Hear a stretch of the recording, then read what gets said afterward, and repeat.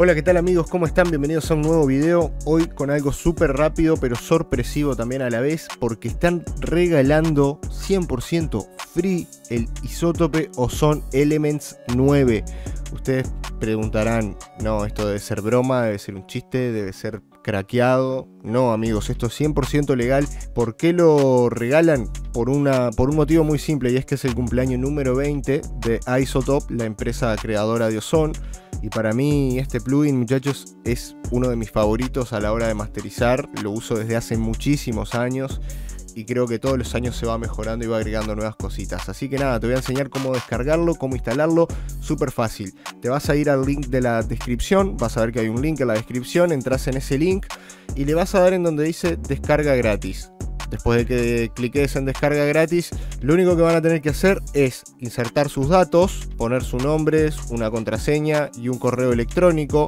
Y luego de que den clic en siguiente, los va a enviar a esta ventana que pueden observar acá. Como pueden ver, dice tu número de serie, dice descargar para PC, descargar para Mac. Simplemente lo descargan seleccionando su sistema operativo. En mi caso, descarga para PC. Le dan un clic, se va a comenzar la descarga cuando se lo descargan lo instalan con el típico sistema de siguiente, siguiente, siguiente, finalizar. Esto no tiene ningún virus, así que descarguenlo tranquilo, esto es 100% oficial. Y luego lo, instalan en su DAW, ya sea FL, ya sea Reaper, ya sea Ableton, en el, programa que usen. Cuando lo instalan por primera vez les va a abrir una ventana donde les va a pedir que pongan, que lo autoricen básicamente. Van a copiar este número serial que tienen acá, lo copian y lo pegan y simplemente ya están autorizados para usar Isotope o son Elements 9. Eh, quería contarles también que vienen tres módulos en, este, en esta suite de mastering. Te va a venir un ecualizador, te va a venir un imager, que es para controlar el estéreo y el mono de, de, nuestra canción. Y te va a venir también el maximizer, que es para conseguir ese volumen bien importante para nuestras producciones más comerciales.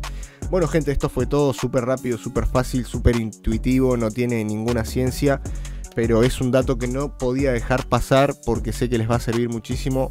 De más está decir que les agradezco mucho si se suscriben, si activan las notificaciones, si dejan un like, obviamente si comentan también.